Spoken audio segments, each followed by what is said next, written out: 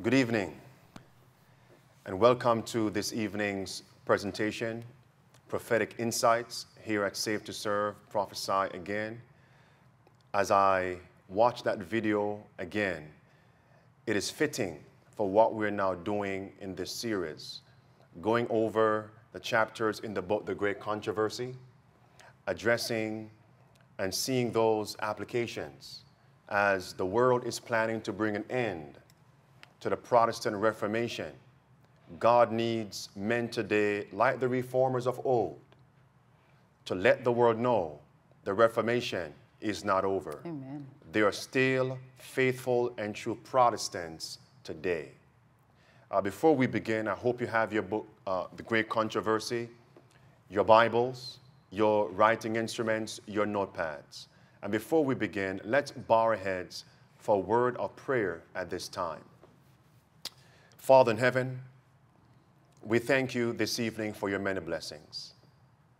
It's a privilege to bow in your presence, to come humbly to study your words, lead and guide.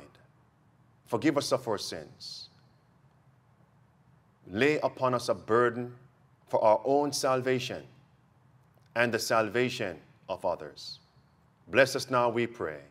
Let there be no hindrance to the study of your word this evening, is our prayer in the name of Jesus Christ. Amen. Amen. Tonight we will be looking at chapter 8 of the Great Controversy, Luther Before the Diet. And I hope that you all have prepared yourselves by reading and studying the chapter. If not, it's never too late. After the broadcast, you can always go back and reread, restudy the chapter. And as we have been saying time and time again, these early chapters aren't just recounting history, mm. but they're also showing us what is to be expected in these last days. It's showing us the unfolding of events leading up to the second coming of Jesus. But of course, before the second of coming of Jesus, we know that the crisis, the mark of the beast crisis, must take place. And last week, uh, Pastor was sharing with us something significant about these first eight chapters in the Great Controversy. And we didn't have time to really unpack it as we would have liked to, so we're just going to uh, reiterate what was shared last week in case you missed it. I'm going to ask you at this time to get your writing instruments and your notepads and take this note, take down these notes, draw this diagram if you can on your sheet of paper. This, this chart covers the earlier chapters in the book, The Great Controversy. As Hillary just laid out, these earlier chapters, they typify the experience that will lead up to the Sunday law crisis, and the experience during the Sunday law crisis. Let's take a look at these first eight chapters. What are these first eight chapters that we find in the book Great Controversy? On your screen, you find the eight chapters. Let's, let's list these eight chapters. Hillary? Okay, chapter one, the destruction of Jerusalem. Two, persecution in the first centuries.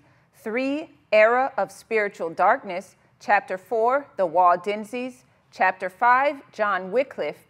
Chapter 6, Huss and Jerome. Chapter 7, Luther's separation from Rome. And chapter 8, Luther before the diet. These eight chapters lay out and typify the experience of God's people in the last days. Let's take a look again at these eight chapters. Because, firstly, we want a pivot point, a point from which everything else revolves. Now, based on these eight chapters, again, they typify the experience of God's people in the last days. Where are we in light of these eight chapters? Where are we, Hillary? Well, we would be about in chapter three, the era of spiritual darkness, the repetition, rather, of the era of spiritual darkness. We're right here. And notice the reason why we can confirm that we are right in, right here between chapter two and chapter three, the persecution in the first centuries and the era of spiritual darkness, this is our point of pivot. If you notice, we are hearing nowadays that there is uh, uh, massacres happening in the Far East, in Syria, in other countries in Africa, in the Middle East, how Christians are being murdered. And we have men of influence who are now saying that we have come to a repetition, of the persecutions of Christians in the first centuries. That's right. And they're also saying the persecutions of Christians today. Many more are dying today as it was during the first centuries. Wow. Now, notice here, look carefully.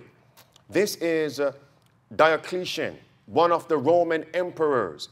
And based on this historical record, again, I'm scanning through this. Based on this historical record, it states that Diocletian killed over, tw- over 20,000 Christians during his reign. First centuries, time period, he reigned from 284 to 305 AD. Look at this now. Here we have it. I'm going to run through this rather quickly right there on the screen showing that Christians are being martyred there in, or being killed, I should say, there in Iraq.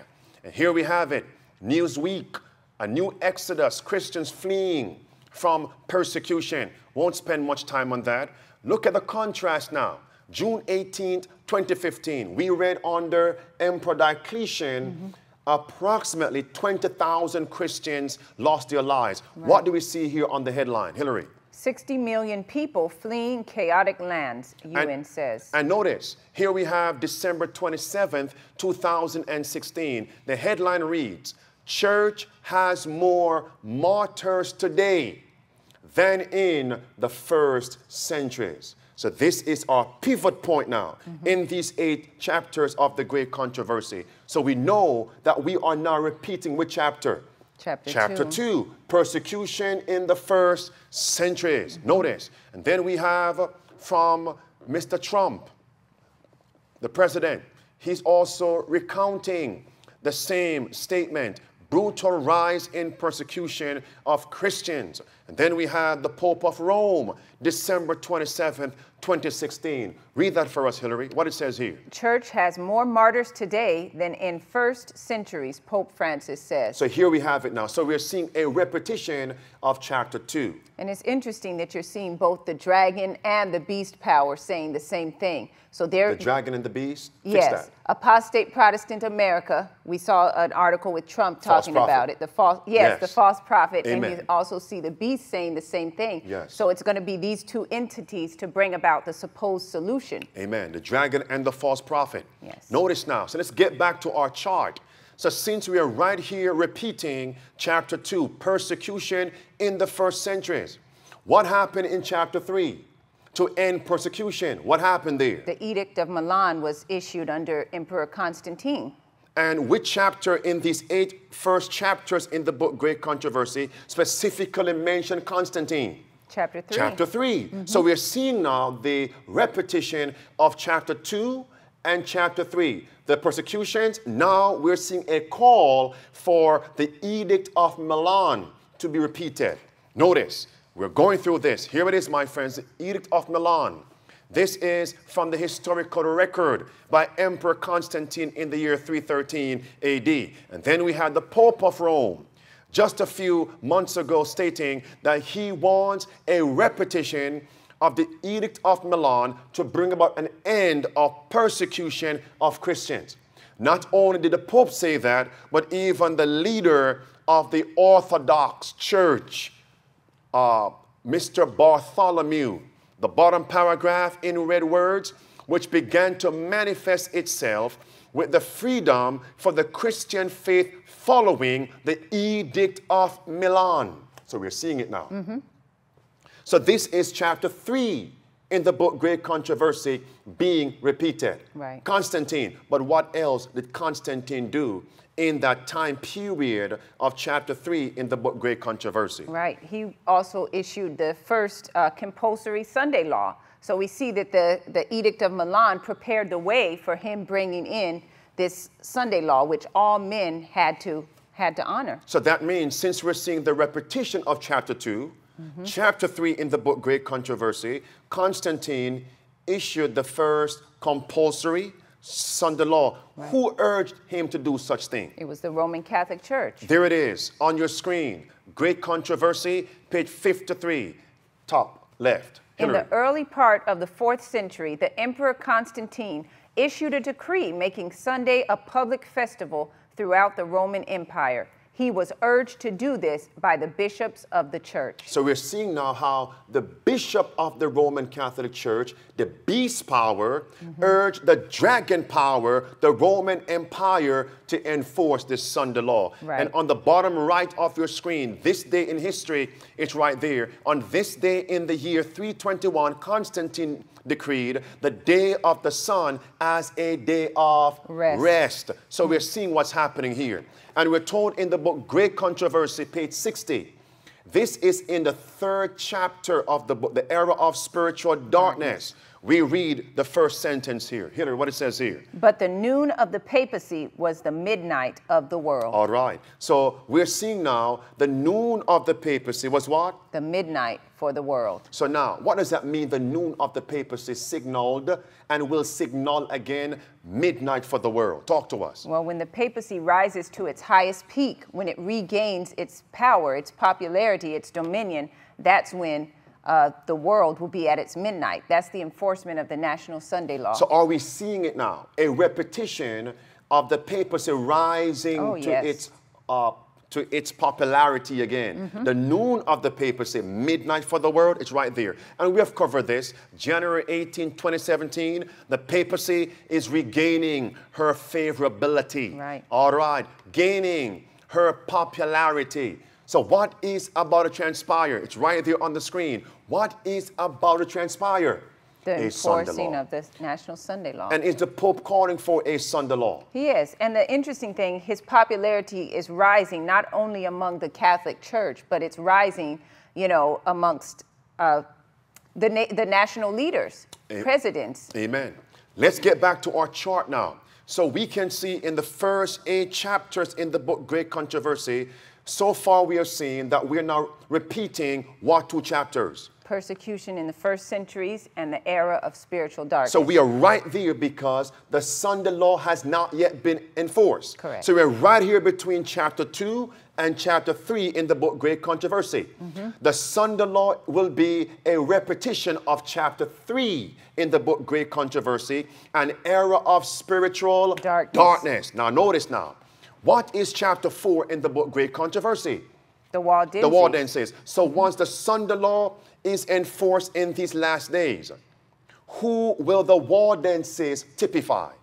Well, the faithful servants of God that will have to do their work, but they'll have to do it in obscurity. They'll have to flee, as did the Waldenses, to the mountains, and then from there they would go covertly and uh, carry the message forward. And that's why above chapter 4 on your chart, you see in fine print the Waldenses, as they evangelized covertly from rural districts. So when the Sunday law is enforced, God's saints have to do likewise. All mm-hmm. right?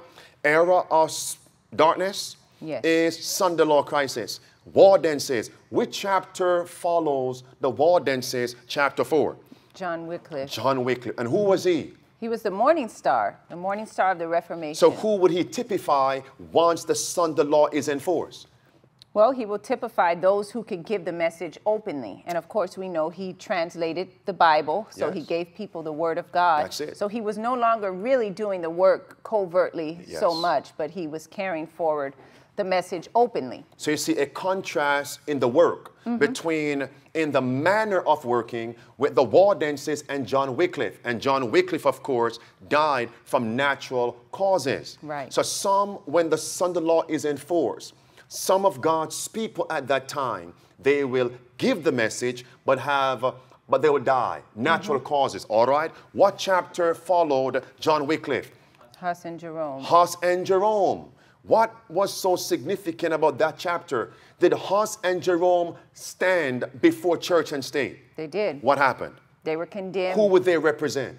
They would represent uh, those that stand before church and state. They're condemned to die, and they will be put to death, like John Huss and Jerome. So, as John Huss and Jerome stood before church and state and they were martyred, so when the Sunday law is enforced, God's people, some of them, will be brought before church and state, and some of them will be martyred. Right. Huss and Jerome. We need to put in Stephen and Peter. Peter, all right, Yes. wonderful. Go I ahead. was just going to say Yes. that this isn't during Jacob's time of trouble. We need to make that distinction right now. This is a during, little time of trouble. Right. All right. So what? Which chapter is the seventh chapter after Huss and Jerome now? Who do we have there? Luther, Luther's separation. Right there on the oh. screen. Look at the screen right there. You have Luther's separation from Rome. All right, talk to us now. What was so significant about Luther's separation from Rome? Well, Martin Luther. Who would he typify? He, of course, followed in the footsteps of John Wycliffe and also Huss and Jerome, Yes. but he was giving the message openly. He openly condemned the sins of the Roman Catholic Church. Of course, we know he posted his 95 Theses on the church door of Wittenberg, and he went about um, openly carrying forward the work of Reformation, calling people out of the apostate system of Roman Catholicism. So as he nailed those 95 theses on the church door of Wittenberg, exposing the sins of the papal church, Right. he represents God's saints once the Sunday law is enforced. That, that Sister White says the sins of Babylon will be laid mm-hmm. open. GC 606. Now, what else about Luther? Well, and also in laying open the sins of Babylon, he was calling people out. So this brings us in the application to Revelation 18. We know that the call is given to come out of her, my people. You know, he wasn't just saying, okay, these are the abuses and the Yes. corruptions of the church, and this is what's wrong with the indulgences. No, he said, you need to separate yourself and be separate from this, this system. And in chapter 7, we saw that how Luther's writings, messages, and the impact of his work, ministry, went to all Yes. of the nations in Christendom. And that could not be done by a natural man. No. So that was done by the Spirit of God. So Luther represents a time period when the latter rain is poured out. And the loud cry given. God's mm-hmm. people are sealed and they give the, loud cry. That's chapter 7, Luther's separation from Rome. Let's move on quickly. Mm-hmm. Chapter 8 now, which is entitled Luther Before, Before the, the diet. Diet.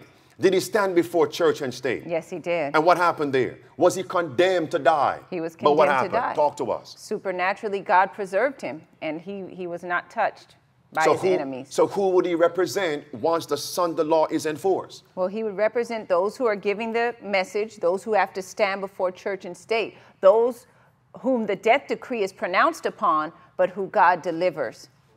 The 144,000. I hear Amen. back there. Wonderful. Luther.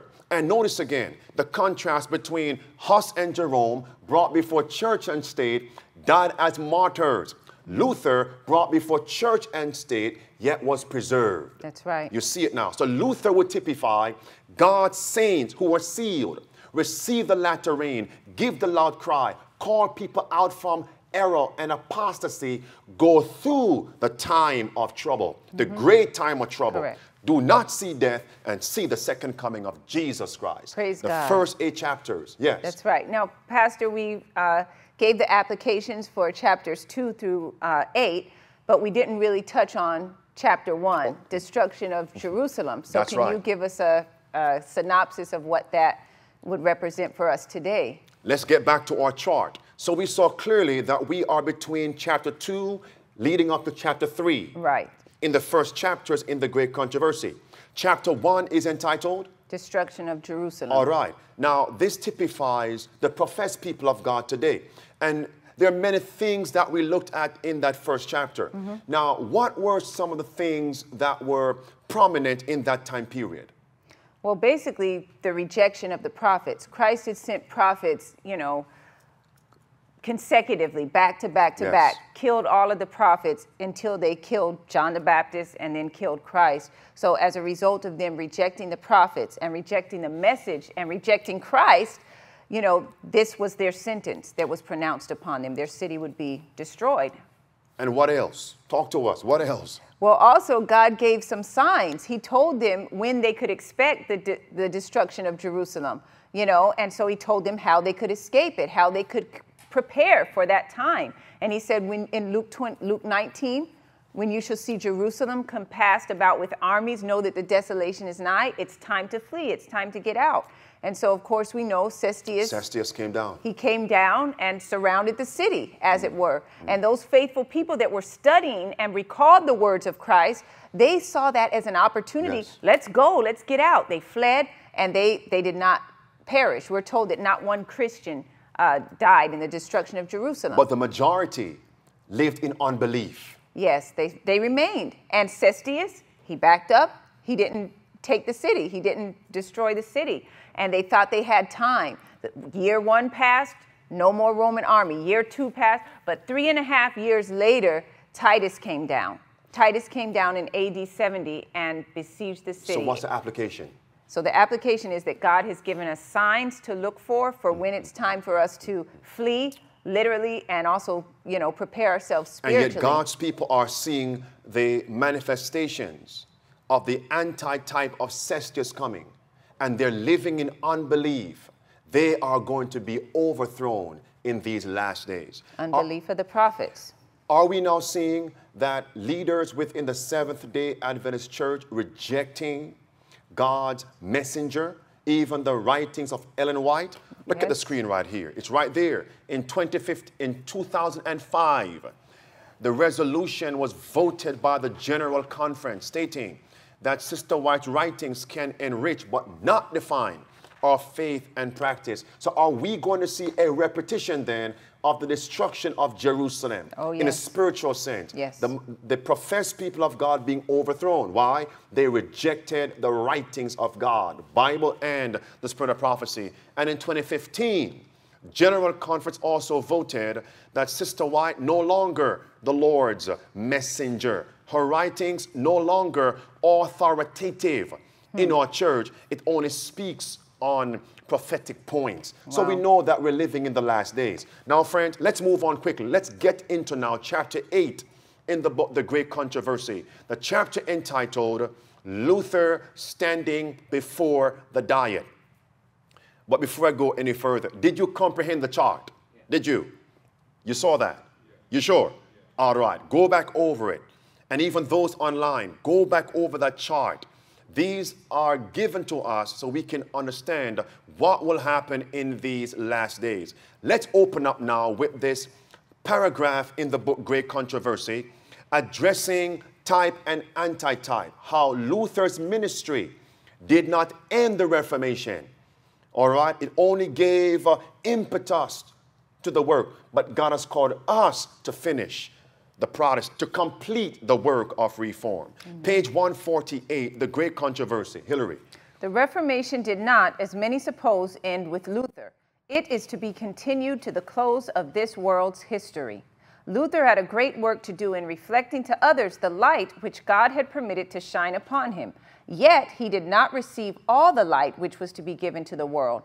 From that time to this, new light has been continually shining upon the scriptures, and new truths have been constantly unfolding. So now notice, let's take a look here. Let's, let's begin. So this chapter is entitled Luther Before the Diet. Mm-hmm. That means Luther was brought in a council. Yes. He, he stood before, he was summoned to come to stand before church leaders and state leaders to answer for his faith. Right. And what we're seeing here is as Luther stood before church and state to answer for his faith, who also stood before church and state to answer for the truth of God and his relationship with God. Who was this? Our great exemplar, Christ, Christ Jesus. So this chapter is showing us as Luther stood before church and state, as Christ stood before church and state, we all will one day stand before church and state, and this is going to be a reality.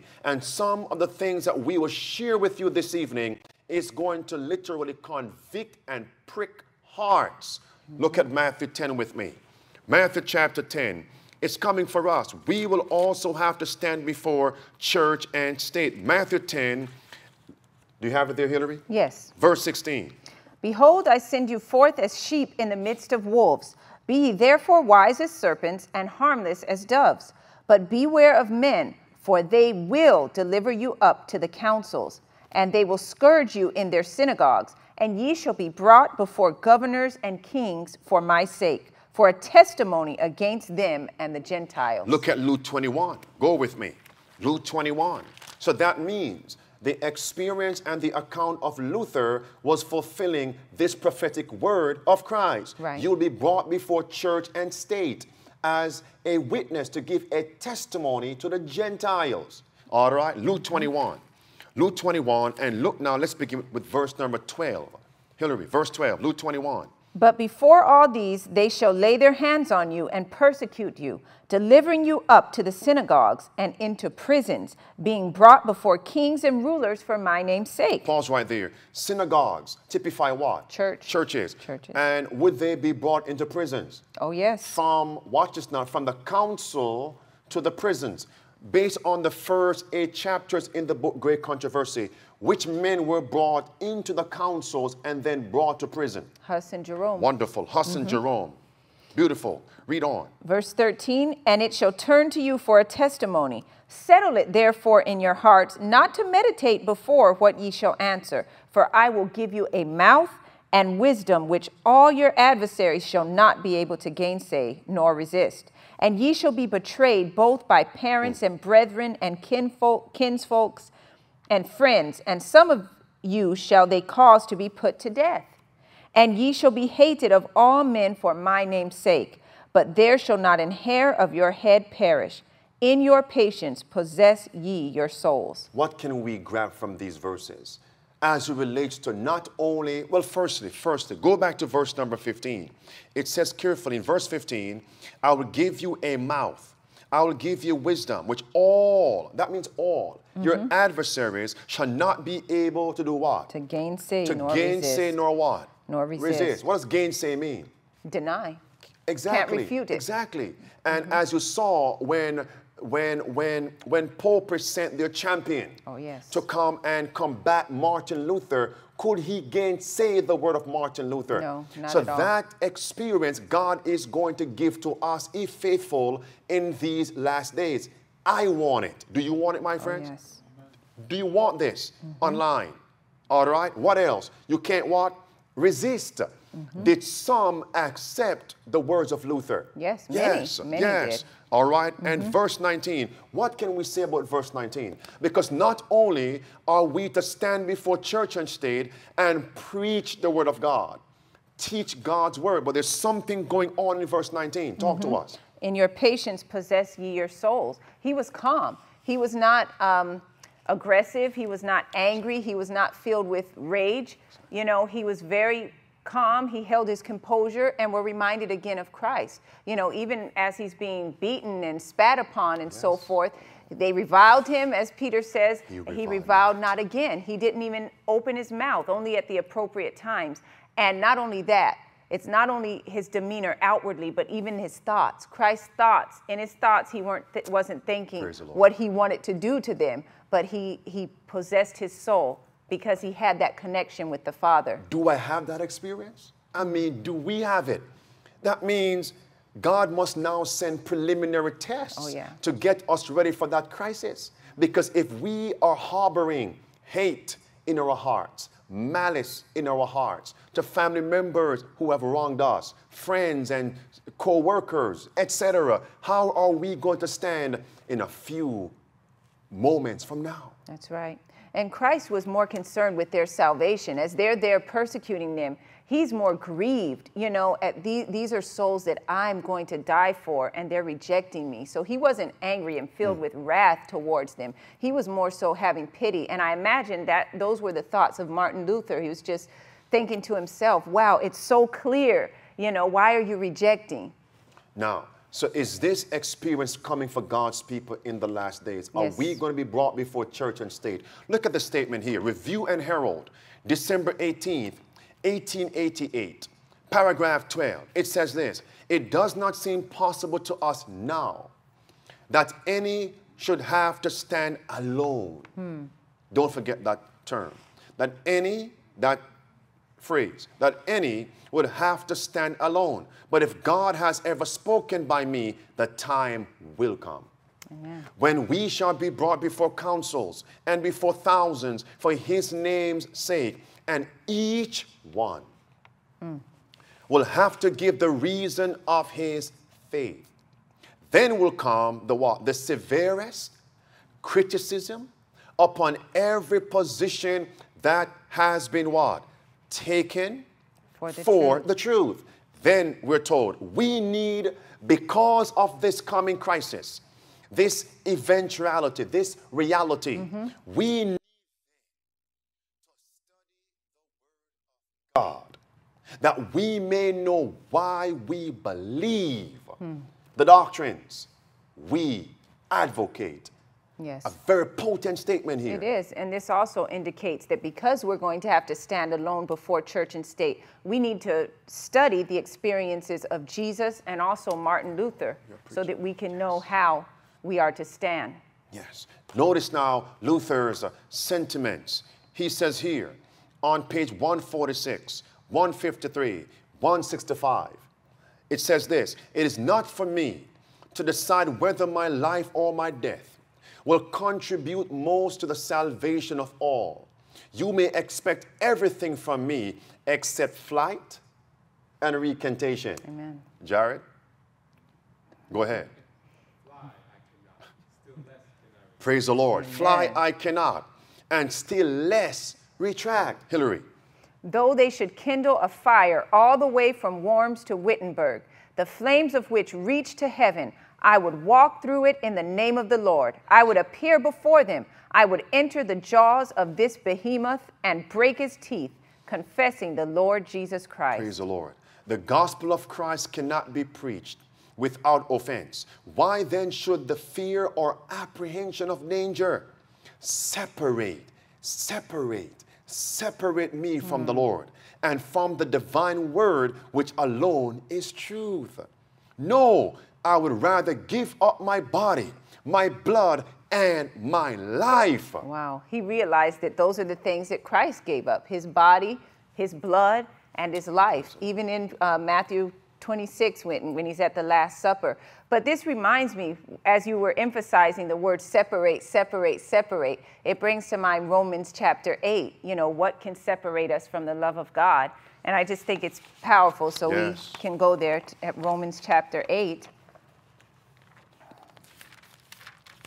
And these are the last verses, beginning in verse 34. Who is he that condemneth? Yes. It is Christ that died, yea, rather, that is risen again, who is even at the right hand of God, who also maketh intercession for us. And then the question is asked Who shall separate us from the love of Christ? Shall tribulation, or distress, or persecution, hmm. or famine, or nakedness, or peril, or sword?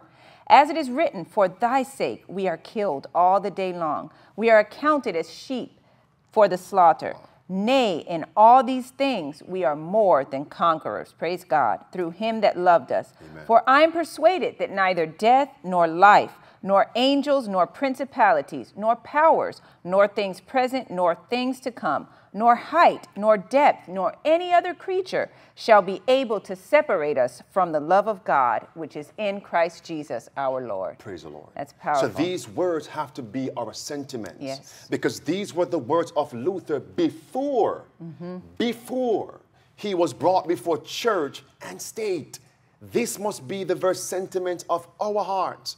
And notice, before he was brought before church and state, there was a specific announcement made against Luther. What was that? That Luther should be excommunicated. Excommunicated. And he was. Yes. Look at this clearly, my friends. Page 146 Luther was excommunicated before he was brought before church and state. Who comes to your mind? Who, before they were brought before church and state, was also excommunicated from the church? Well, Christ was. Go to John chapter 11 with me, my friends. John chapter 11.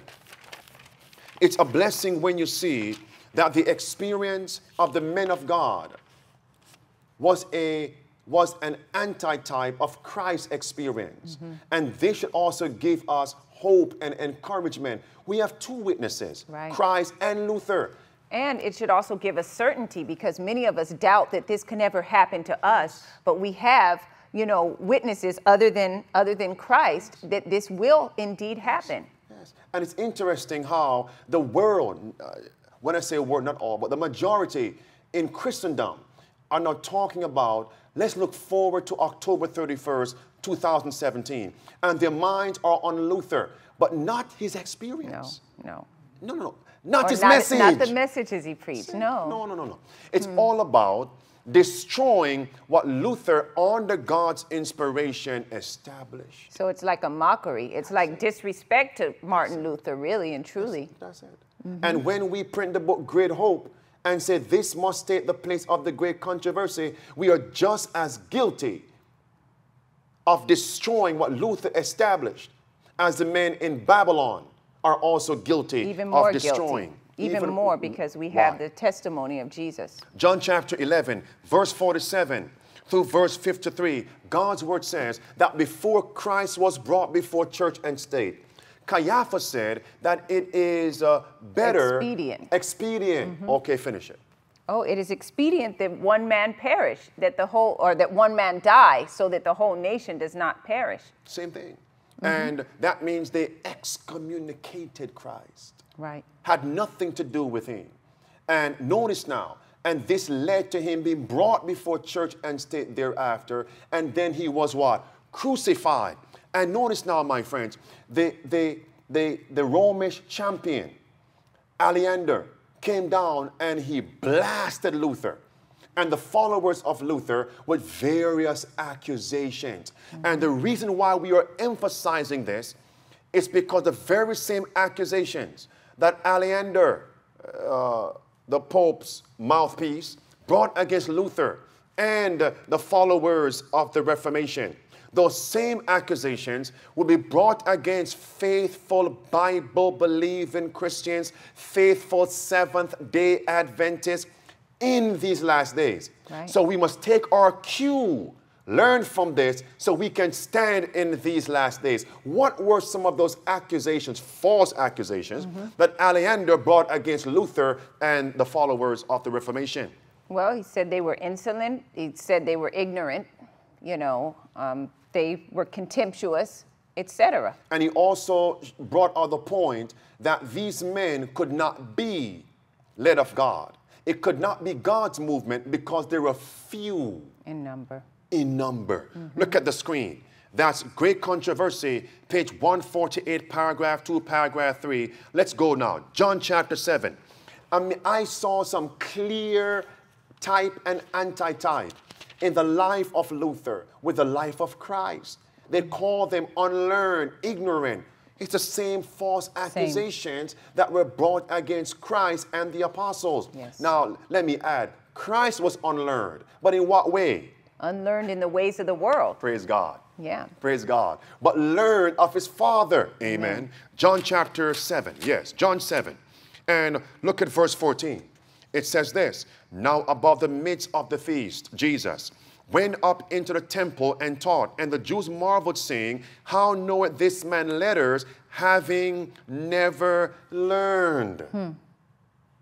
Unlearned. Right. Acts And- chapter 4. Go there, even- yes. I was going to say, even John the Baptist, and we're told that if he would have gone through the schools, he would have been Yes, unfitted for his yes, work as a reformer. Yes. And that's Desire of Ages, page 101 on Word. Yes. Uh, if he had gone to the schools of the rabbis, Right. unfit. Look with me. Here we are in Acts chapter 4 and verse 13. It says this Now, when they saw the boldness of Peter and John and perceived that they were what? Unlearned, Unlearned and, and what? ignorant men. Hmm. They marveled, but what happened next? And they took knowledge of them that they had been with Jesus. Praise God. Praise God. Praise God. This must be our experience as Christ, as Peter and John. These accusations that were brought against God's reformers will be brought against us. And this was not, not the full scope of the false accusations. No. Look at this here. Look at this on page 147. Aleander labored with all the power and cunning at his command to secure Luther's what? Condemnation. Last phrase, accusing the reformer of what? Four things. Sedition, rebellion, impiety, and blasphemy. What comes to mind? These same accusations, false accusations, were also brought against whom? Against Christ. Against Christ and even against Paul, mm-hmm. Luke 23. Go there with me. Luke 23. Luke 23. In other words, friends, these chapters in the book Great Controversy are really giving us a Bible study. That's right. Not so much on doctrine, we'll get to many of that. Not so much there, but the Bible study of what is coming and how to be ready spiritually. Amen. All right, Luke 23. Sedition, rebellion, impiety, and blasphemy. What do we find in verse 1 and verse 2? They said Christ was perverting the nation. Look with me. Go to Acts, Acts 24. In Acts 24 and verse number 5, what was said of Paul? In Acts 24 and verse 5. And while we're going there, just remember in Matthew 26, I believe it's in verse 65 and verse 66. What did what false accusation, what false charge did they bring against Christ when he stood before Caiaphas, the high priest? Blasphemy. Right. Blasphemy, the very same words. All right. Mm-hmm. Acts chapter, what chapter? 24. Acts 24, verse 5. Hillary, what it says here. For we have found this man a pestilent fellow That's it. and a mover of sedition among all the Jews throughout the world, the world, and a ringleader of the sect of the Nazarenes. Let's move on. And then on page 148 in the book Great Controversy, what other false charge did they bring against Luther and the, and the followers? Aleander again, the Romish so-called champion. I call him Goliath. Every time I read this chapter, mm-hmm. when I see Aleander, I say Goliath. He's Goliath. Amen. Move on. What do we find there in the blue words? On top, charge after charge. He hurled against Luther as what? As an enemy of the church and the state. What comes to mind there? Well, Christ was denounced as an enemy of the church and the state. A perverter of the nations. Right. Luke 23, 1 and verse 2. Mm-hmm. And we're told in the book Great Controversy, page 592, that those who honor God's seventh day Sabbath, especially when the Sunday law is enforced, because again, going back to our chart, Right. let me finish my point. Those who honor God's seventh day Sabbath and uh, reject the Sunday Sabbath, what will they also be styled as and also be called and labeled? Enemies of law and order. Exactly. Enemy of church and, And state. state. Let me go back to my statement now, which I was going to interject. The point here is Luther before the diet is chapter 8, which succeeds chapter 3. Right. Era of spiritual darkness. So that means Sunday law, chapter 3. And chapter 8, what is Luther called? An enemy of, the church, church and, and the, the state. state. Look Wow. at GC now, page 592. Do you see it now? Yes. Mm-hmm. You can see it now? Amen. GC 592, it says this Those who honor the Bible Sabbath will be denounced as enemies of law and order. Read on, Hillary. As breaking down the moral restraints of society, causing anarchy and corruption, and calling down the judgments of God upon the earth. Their conscientious scruples will be pronounced obstinacy, stubbornness, and contempt of authority. They will be accused of disaffection toward the government. All right. Notice now. So is it, is it coming again for God's people? It is. And even in Christ's earthly ministry, we know that there was a crisis surrounding the keeping of the Sabbath. Of course, the Jews had added on man made traditions to their Sabbath keeping.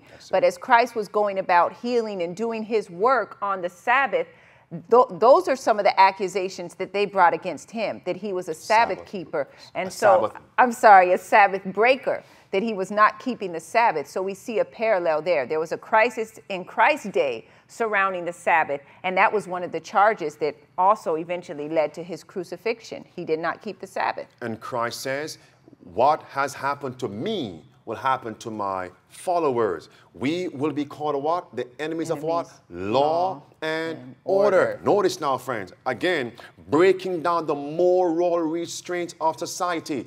What is one reason for which the Sunday law will be enforced? on the basis of morality. All right, to if bring back morality. Go to ahead. bring back morality. Yeah, if, if we honor Sunday, we'll have God's, you know, blessing and the morality will improve and and that's one of the reasons why it will be enforced. And that's great controversy 588. right? 87. 587, yes. Let's move on. And now, as I read through this book, Great Controversy, this chapter, chapter 8, Luther before, before the Diet, God raised up a man by the name of Duke George of Sax- Saxony, and he laid open Duke George of Saxony that laid open some sins against the Roman Catholic Church. And as I read that, I said, Lord have mercy upon our souls, because those same sins are prevalent in Babylon. But what was it? and can also be mm. found within this remnant movement, Seventh day Adventism. Go ahead. Right. I was going to say before we make the application, it, the book brings out that he what what made it even more powerful was the fact that he wasn't even he hated the Reformation. He wasn't even a supporter of the Reformation. Yet his eyes were open to see that the Roman Catholic Church was not of God. And as you were making the modern day application, we can see in the world and many people that aren't even Christians know that the Roman Catholic Church is not of God. They see the um, the sex abuse scandals and they see all of these involvement in genocides and so forth and all this money laundering and extortion and so on and so forth. And even with these apostate Protestant pastors, they see them as just being about money. They're preaching a prosperity gospel to drive around in their fancy uh, Rolls Royce cars and whatever have you to buy their watches and their jewelry. So they, they don't want anything to do with it. So they can see and even expose some of the sins and the corruptions that are going on in the world. Here it is. This is on page 149. These, Hillary, These are some of the abuses that cry out against Rome. All shame has been put aside, and their only object is money, money, money. So that the preachers who should teach the truth utter nothing but falsehoods and are not only tolerated but rewarded, because the greater their lies, the greater their gain. It is from this foul spring that such tainted waters flow. Yes. Debauchery stretches out the hand to avarice. Alas, it is the scandal caused by the clergy that hurls so many poor souls into eternal condemnation. A general reform must, be, effected. In other words, the leaders were saying, it doesn't matter. Our main goal is for money to come into our churches. That's the point of the indulgences. That's it. And the priests would continue to preach lies. Lies. Why? The objective is increase church membership to make sure money comes into the church. It is going on in Babylon, mm-hmm. in, in the papal church. It's going on in, in her daughters, the Baptists, the Church of God, the Pentecostals, you name them, Rick Warren and who? Um, Jakes, Osteen, uh, all of the above. all of them. It's all about money. And that's why we have to give the trumpet a certain sound when Seventh day Adventist pastors are doing similar. And that's keeping the people in this state of darkness because if people's eyes were open, they would see clearly for themselves an era of spiritual darkness. Now, I want to ask you a question. When that pastor in California, I believe, who invited a Catholic priest to stand in the pulpit, appel, mm-hmm. who Yeah. to stand in the a Catholic priest to stand in a Seventh Day Adventist pulpit, what would that Catholic priest preach? Lies. Right. Lies.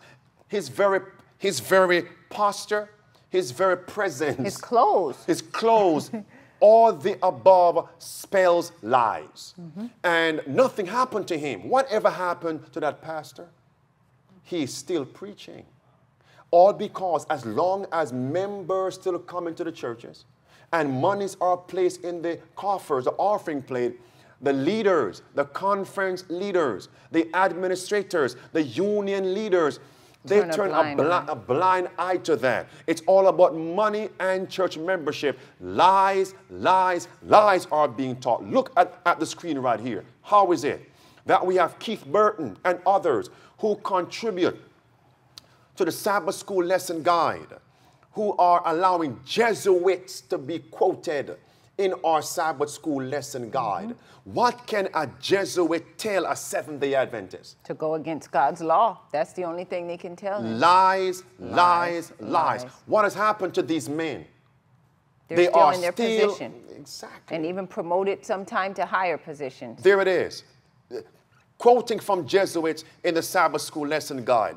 And we have covered this. I'm going somewhere with this.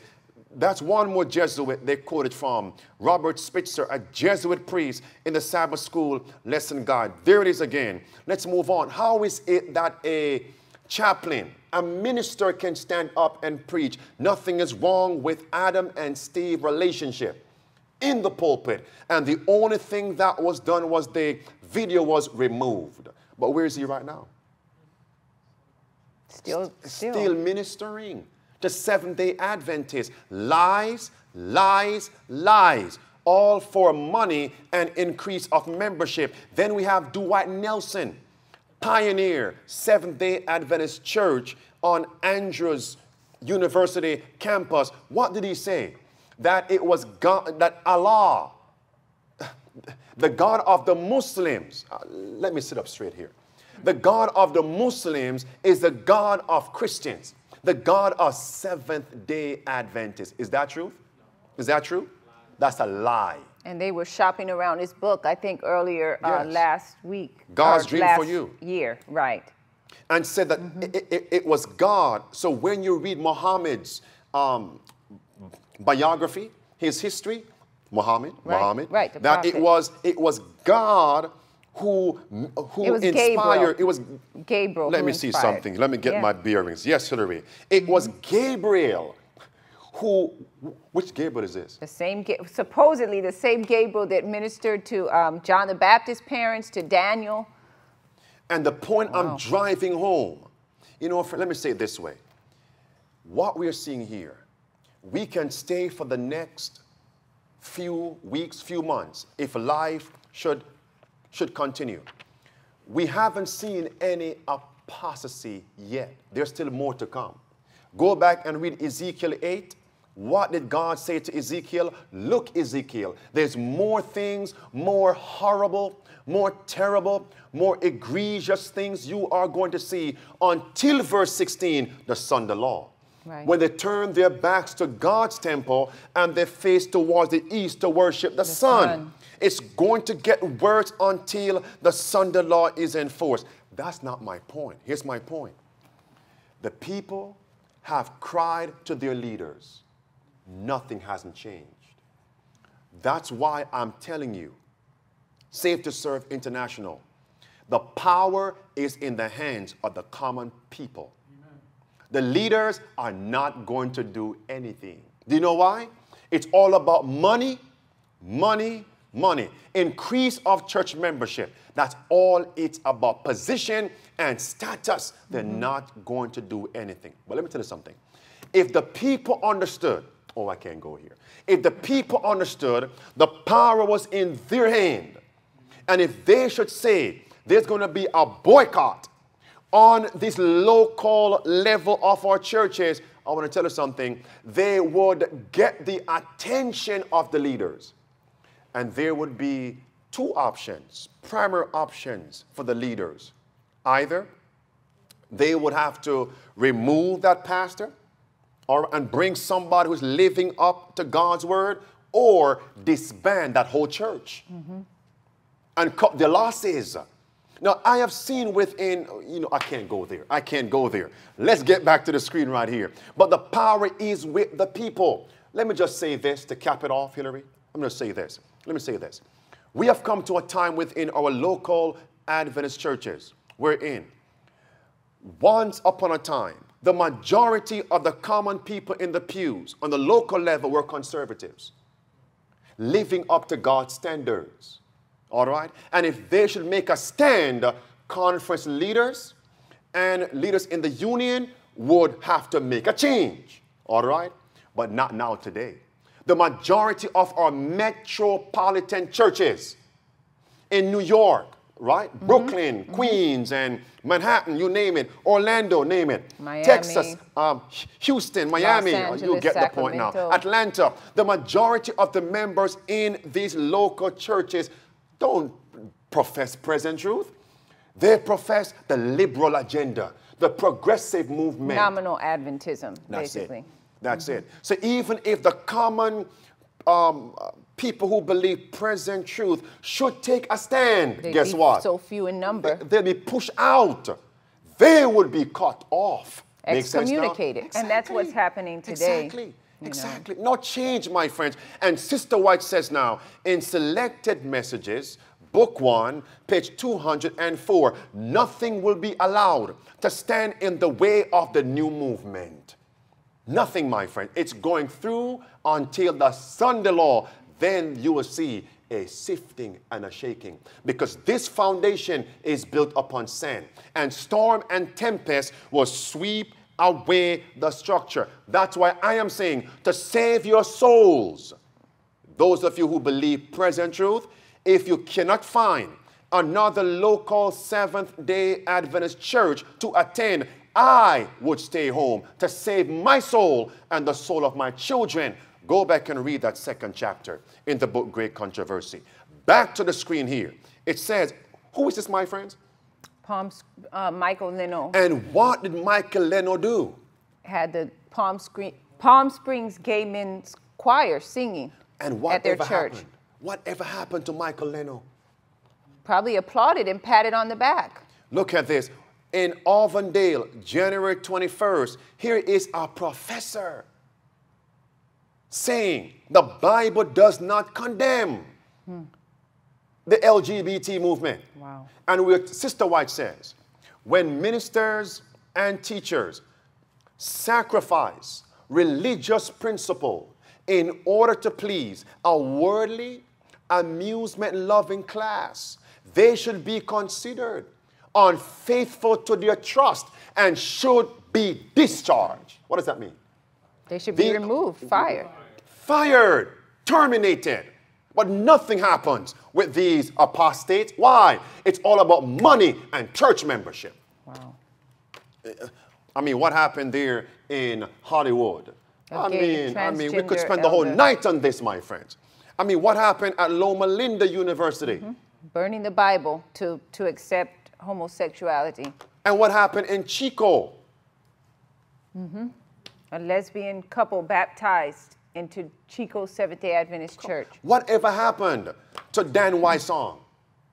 Wh- Whatever happened? Come on, friends. Still there, as far as we know. And what?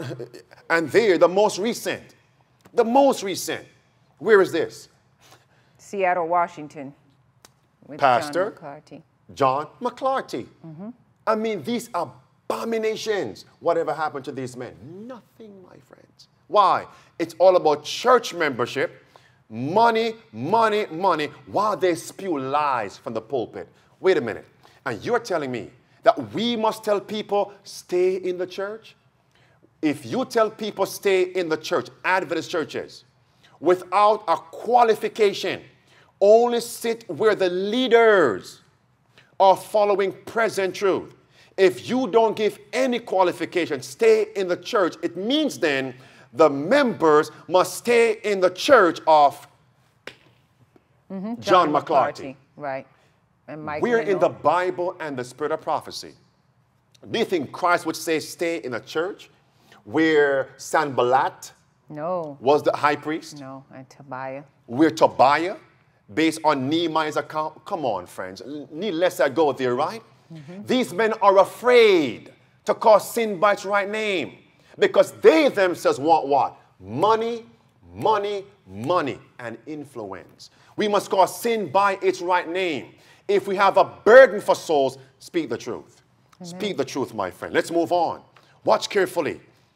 On page, yes. I was just going to say, but who's actually in a worse condition? Th- those that allow this sin to take place without doing anything, without any repercussions, or those that are actually speaking the lies, or those that have the power to, to stop it, you know, to cut it off, while yet they're purportedly standing for a conservative agenda, you know, and saying what should be and this is the way it should be and get back to this and that, but not doing anything with it when it's in their power to do. Who's in a more uh, responsible position? when Luther was brought before church and state, they, this man, Aleander, um, the, the, the elector, had such boldness to bring Luther's writings and say, Luther, I'm going to give you two questions. Number one, are these your writings? And number two, do you plan to recant? That's Right. page 155. What is the application here, Hillary? Well, to bring the man's writings. Now, where is he now at this point? Before, Before the diet, before right. church and state, And they brought his what? Writings. his writings. Two questions. Are these yours? Mm-hmm. And do you plan to recant? They had been they had been storing up his writings, but not for the right reason. They weren't studying them and praying over them, seeking is this truth. They were storing them up to use as ammunition against Martin Luther. And so that brings to view surveillance. You know, I don't know if you're planning to go to the application now, but the application would be when we are brought before church and state, uh, they're going to gather up writings, maybe Facebook posts, sermons preached, Maybe. yeah, Facebook No, no, posts, your maybe. YouTube. Yeah, all of these things. They're going to bring up your history Hillary. and they're going to ask you, are these things yours? Did you actually say this? You know? And do you still believe this way? Yes. Yes. Eric Walsh. Yes. Yes. And before we go to Eric Walsh, because you're seeing it now, you're seeing it now. So, number one, in the world, we see surveillance. And they are literally garnering, gathering everything we have ever taught and preached, mm-hmm. everything we have ever written. And one day, we'll have to meet those writings and those sermons. But before we go to Eric Walsh, do you know? Let's go back to Christ's life 1st What was the accusation that was brought into the courthouse, church and state? What false accusations did they use as evidence to crucify Christ? What did they say he said? They used his words where they said, destroy this temple and in three days I will build it up. Now, friends, when did Christ make that statement? Well, at the beginning of his earthly ministry. So this was in John chapter 2. Mm-hmm. So three and a half years later. wow. Wow. Are you seeing this, my friends? Three and a half years later, after Christ made the statement in John chapter 2, in John 2 and verse, verse 18 through verse 21, three and a half years later, Wow. they brought those same words into the courthouse. Hmm. Now, now, now, granted, they misapplied, Right. misinterpreted, placed a false coloring on his words. Right. But the pointer is three and a half years later, his words were brought back. And if that happened to Christ, happened to Luther, what, what, what would happen to us? The same. It happened to Huss as well. And even Wycliffe. Exactly. Mm-hmm. Now, you said Eric Walsh, God must be moving. Look at the screen right there. What happened to Eric Walsh, a Seventh day Adventist? What happened to him? Well, he had this job with the state at public health director in California, and they came across somehow some sermons that he had preached where he was denouncing the LGBT lifestyle as being unbiblical, and he also had talked about spiritualism in Disney and so on and so forth. And once uh, people got a hold of those messages, there was an outcry. He, I believe he was invited to speak at a college. They dug up all of that information, and by and by, he lost his job as a result. And on that chart, it says, now, as a part of that lawsuit, the state of Georgia, which ironically claims it did not fire Walsh for what, religious reasons. is demanding he hand over what now? religious documents, his most intimate private sermon notes, along with sermons themselves. Why would they ask for those things to be turned over? To be brought where? To the court. Into, the, courts. Mm-hmm. To be accepted as evidence against, Against him. Right, Friends, if we're seeing this today, why are we not being awakened? right. I mean, God is using Eric Walsh as a type of what's coming in the last days. And it happened to him twice because it happened to him in California, then he got another job in Georgia, and it happened again. He lost that job as well. Now, notice, as Luther now, friends, that's why we must know what we believe, my friends. Know what we believe is coming for us. And that's why, friends, you know, people always say, for example, Pastor, I hear you're saying this, the church is Babylon. I, I responded to one person, which I normally don't do. I said, listen, I have over approximately I have these, these amount of sermons on YouTube on my website, okay? And we have written countless, numerous articles. Show me one statement where I ever said that. In other words, the evidences are there. But let me tell you something. Even if you don't say the error that they are accusing you of, they are going to misconstrue your words. Put a false coloring. Mm-hmm. Is it coming? Back to page 156 on the screen. So once Luther was brought before church and state now, what was his experience as he felt the, the burden? The crisis hour had come. How did he feel? Well, he felt inadequate to meet the trial. He felt his faith was wavering at that time. He was he was trembling, you know. Let's read that. Because our words cannot really give it justice, Hillary. Read that for us. The next day. The next day he was to appear to render his final answer. For a time his heart sank within him as he contemplated the forces that were combined against the truth. His faith faltered. Fearfulness and trembling came upon him, and horror overwhelmed him. Dangers multiplied before him. His enemies seemed about to triumph, and the powers of darkness to prevail. Clouds gathered about him and seemed to separate him from God. He longed for the assurance that the Lord of hosts would be with him. In anguish of spirit, he threw himself with his face upon the earth and poured out those broken, heart rending cries which none but God can fully understand. You know, when I read that, I sit out of my seat on my knees and I said, Lord, please give me that experience because I have to have it before the Sunday law is enforced. I said, Lord, give it to my wife, give it to my children. Do you all want it, friends? Now, what comes to mind as you as you heard those words, as you read those words, in anguish of spirit, he threw. Okay, I- Amen. Amen. before I finish reading it, who? who? What? Gethsemane. Mm-hmm. Gethsemane. And notice, yes, drops of blood in Gethsemane. Wonderful. And this was before who came to capture Christ. Church and state. That's it.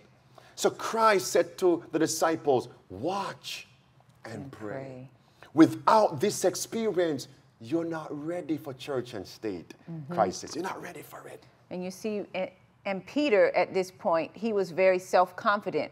And you see a clear contrast, a marked contrast with Martin Luther. He didn't have that self assurance that, you know, though all men forsake thee, I will be here. I'm going to stand for God. He felt his inadequacy, and it led him to a Gethsemane experience. It led him to a Jacob like experience. But Peter, he was too self confident. Every time Christ would bring up the crisis, be it far from thee, Lord, the fir- one of the first times. Then when he would bring it back again, though all men shall forsake thee, I will not do it. I will not do it. He was putting confidence in himself. And we read some previous statements that Martin Luther had said, you know, before he was to face the diet. Um, how bold he was. How bold he was. I will enter the mouth of the behemoth and I will break his teeth. And, you know, but here you see a difference. You know, you see he really felt inadequate. He knew that it wasn't in his own strength that he could stand. no way.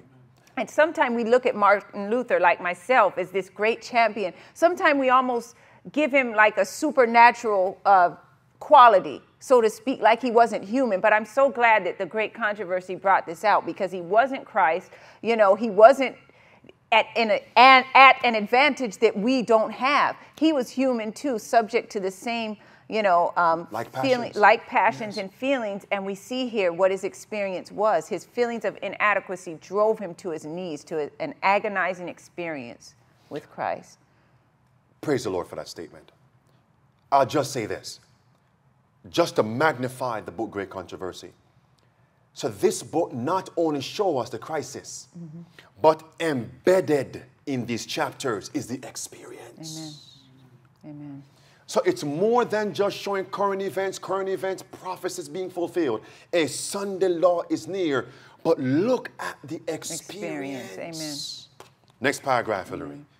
An all wise providence had permitted Luther to realize his peril, that he might not trust to his own strength and rush presumptuously into danger. Yet it was not the fear of personal suffering, a dread of torture or death, which seemed immediately impending, that overwhelmed him with its terror. He had come to the crisis Hmm. and he felt his insufficiency to meet it. Pause right there. Who also came to a crisis and felt insufficient to meet that crisis? Jesus. Oh, my friends. Yes, yes. And the next few lines said that also somebody else came to a crisis, Old Testament, and f- felt insufficient Yep, to, Jacob. to meet it. Who was this? Jacob. Read that for us, Hillary. Not for his own safety. Blue words. Not for his own safety, but for the triumph of the gospel did he wrestle with God. Like Israel's in that night struggle, beside the lonely stream was the anguish and conflict of his soul. Like Israel, he prevailed with God. In his utter helplessness, his faith fastened upon Christ, the mighty deliverer. He was strengthened with the assurance that he would not appear alone before the council.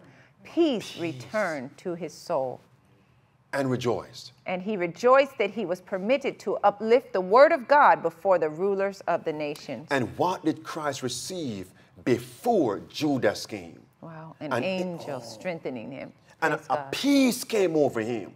No longer was he bleeding, um, Great of- perspiring right. blood. The peace came over him now. You know, friends, the thought, the thought, the thought that came to my mind was this: How could you rip out these chapters from the book Great Controversy Wow. and give me great hope? How could that be hope? When you remove these chapters, it's a false hope, it's a lie. Because these chapters Right. give you the hope. It gives you the controversy and it gives you the hope. The great hope only gives you the false hope. It doesn't even give you the, the, the full scope of the controversy. As Luther was walking into now the, the hall, the council, church and state, what words did God allow to come to his ears to encourage him, to strengthen him? What words? The promises of the word of God.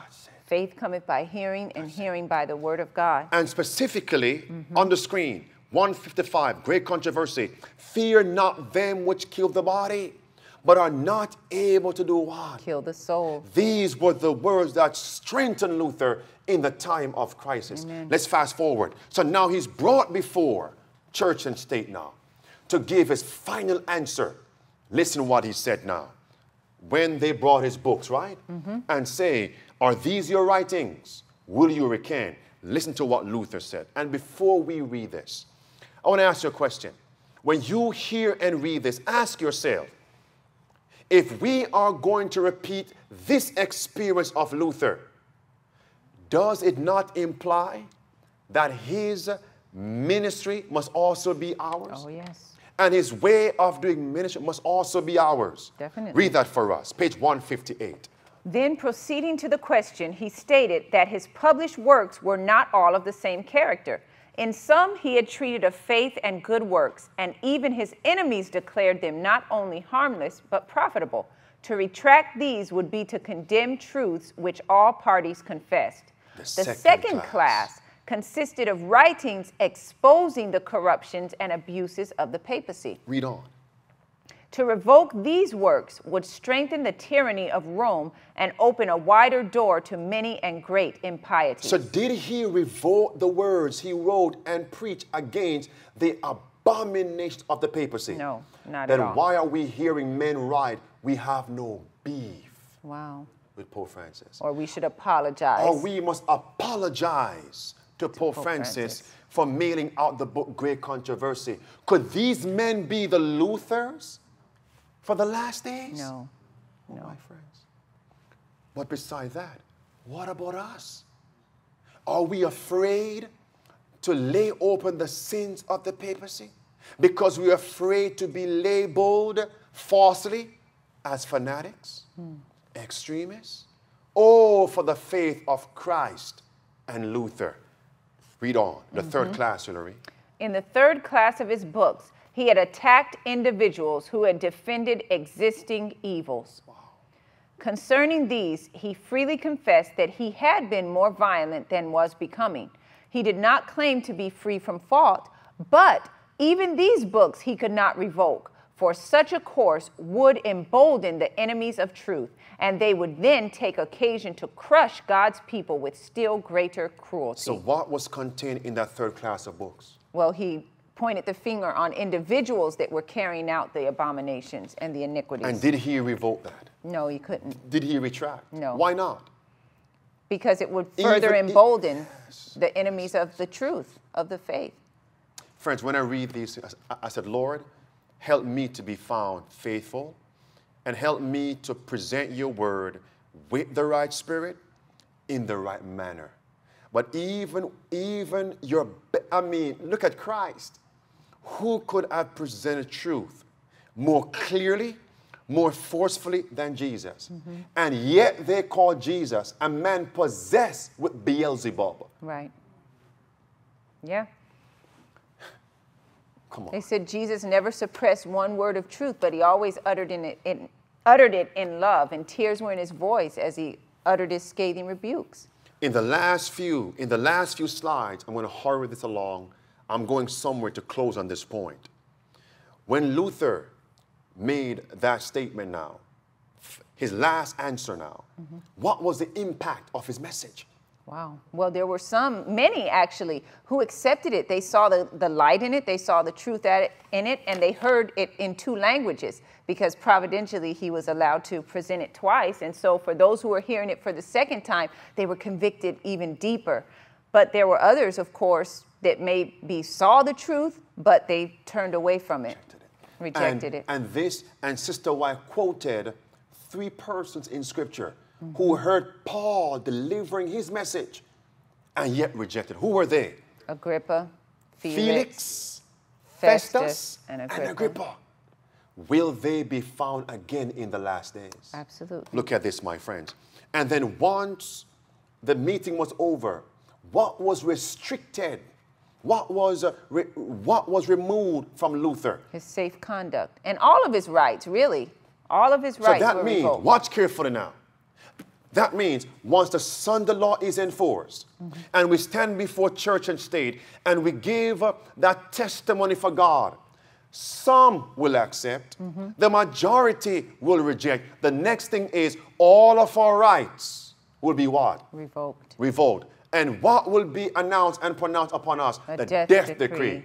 It's right there on page 167, the mm-hmm. death decree. However, who did God work through to preserve his champion, modern day David for that day, Luther? Mm-hmm. Who did God work through? The man called Frederick of Saxony. Praise God. And what did Frederick do? Fr- friends, I'm going somewhere here now. What did Frederick of Saxony do? Well, he led him to safety, in so many words. allowed men to literally capture him, mm-hmm. bring him, Bring him to into safety. safety. When I read that, Luther was hid from the uh, sword of the papists. When mm-hmm. I read that, I went back to the church looking at where Luther's experience will be fulfilled again. Sunday law, God's people are sealed, mm-hmm. receive latter give the loud cry, souls are brought in, we stand before church and state, we give that last testimony. God's all people delivered. And then we see that there's going to be a death decree. Right. They'll be hunting us. And as Frederick of Saxony was used by God to preserve Luther, volume 9 of the testimonies. And page 16 says that God is going to allow angels. To preserve us. Amen. It says on page 16, by means, wait a minute.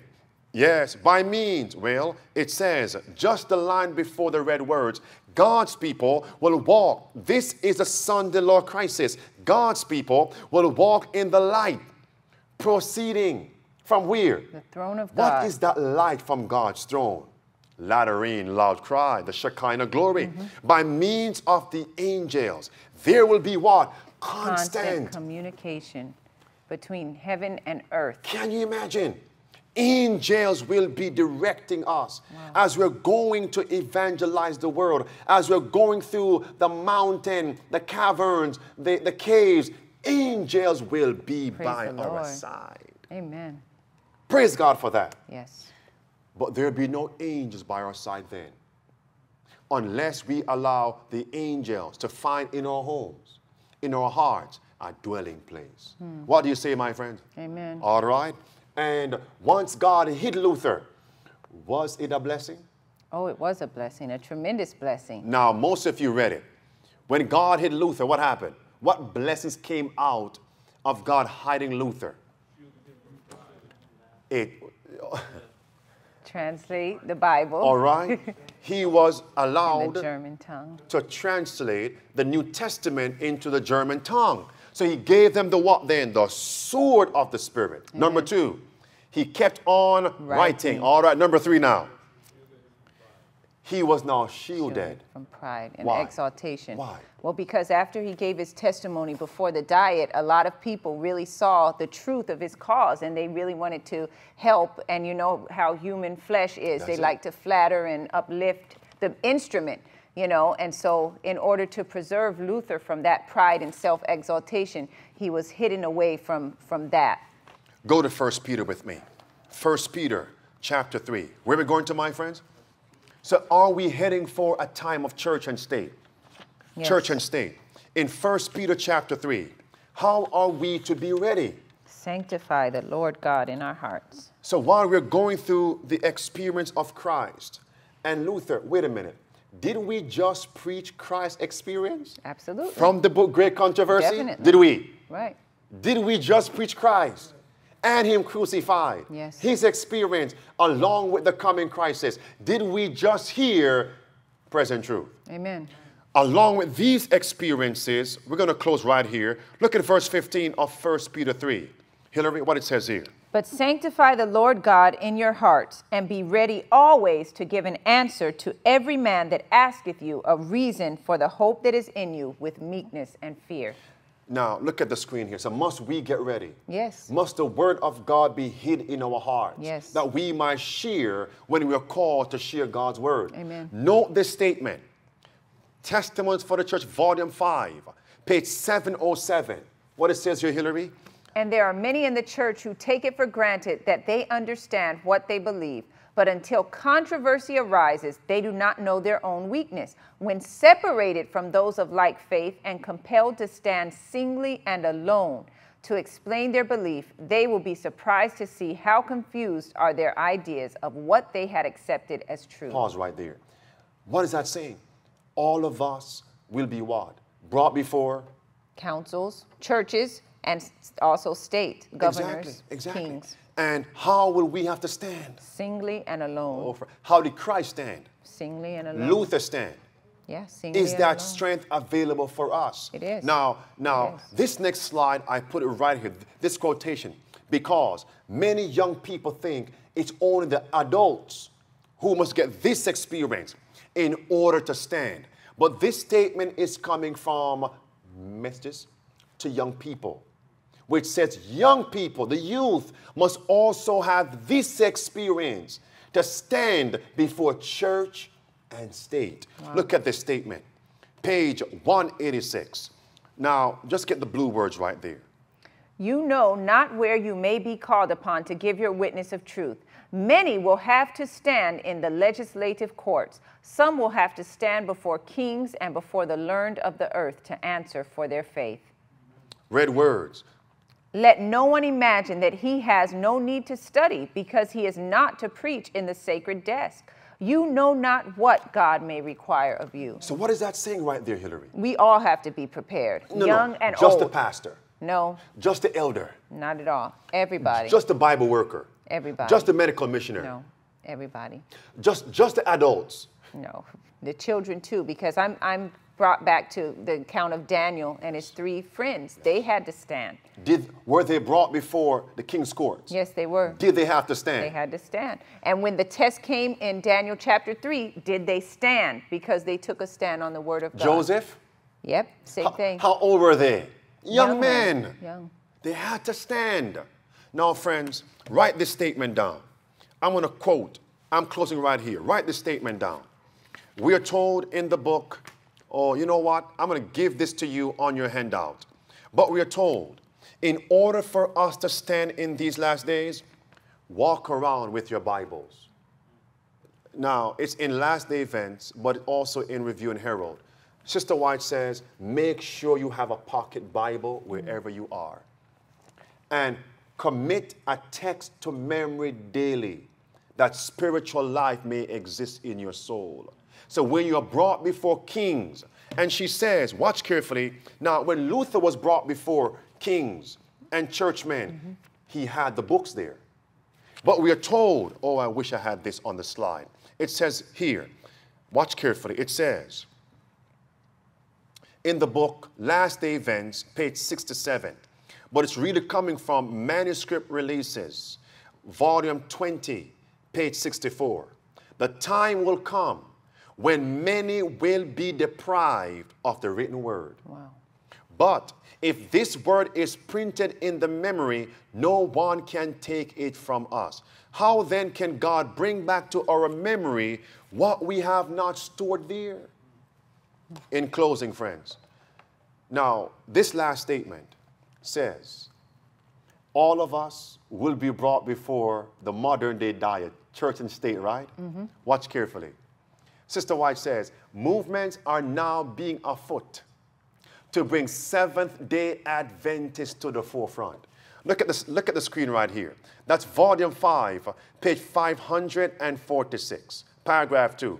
She says, events, movements are now being set in place to usher Seventh day Adventists to the forefront. Mm-hmm. And we will have to give a reason for our faith. What recent events can you, recent now, can you say, yes, that is one, that is one that has now brought Seventh day Adventists in the spotlight?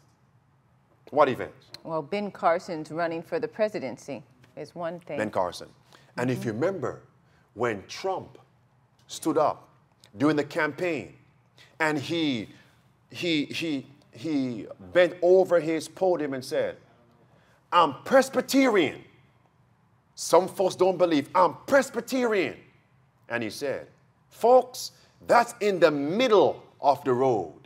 And then he said, But Ben Carson, a Seventh day Adventist, folks, we don't know who those people are.